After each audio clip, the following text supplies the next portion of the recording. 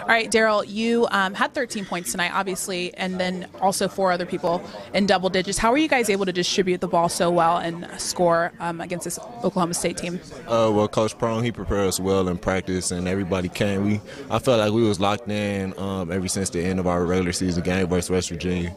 You know, everybody was hurt because that, that ended our win streak, so we just got back to work and we came focused and uh, humbled. And obviously, sorry to cut you off. Obviously, um, defense was a huge part of uh, this game, stopping Jawun Evans. How do you think you guys were able to do that successfully?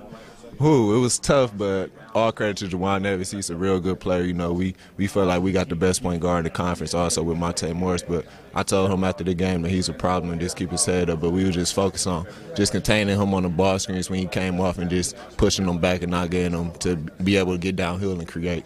So every time you guys scored, the crowd went crazy. It was basically a Cyclones crowd out there. Um, how was it being able to play in, in front of such a an enthusiastic crowd? Uh, well, this is my first time actually playing in so-called Hilton South. So uh, coming out and seeing those fans and just knowing that they're there to support us, we it was all right that we had to go out and win and just play hard just for those fans and not for ourselves um, either TCU or Kansas tomorrow. How do you guys prepare for that game? Such a quick turnaround. Uh, both of those guys are pretty good teams. You know, we we uh, both split them earlier in the year. They TCU uh, beat beat us at their place, and then uh, we beat Kansas at their place. So.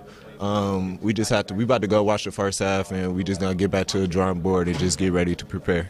Awesome. Good luck tomorrow. Thank you. Appreciate it.